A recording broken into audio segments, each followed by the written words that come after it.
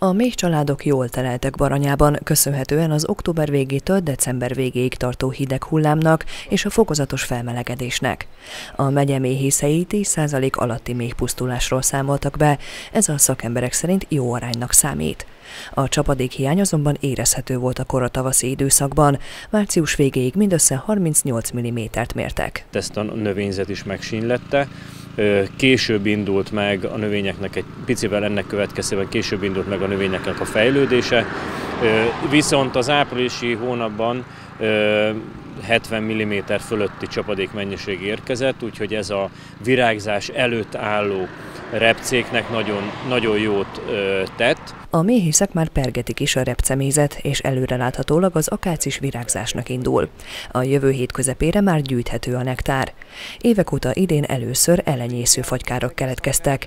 Baranya fagyzugos pontjain tapasztaltak ilyen jelenséget a szakemberek. Összességében azt lehet mondani, hogy az, az akácot idén nagyon csekély mértékben érintette a, a fagy, úgyhogy minden adott ahhoz eddig, hogy, hogy jó termésre szám, számolhatunk, ha csak ugye az időjárás még a virágzás alatt nem szól közben.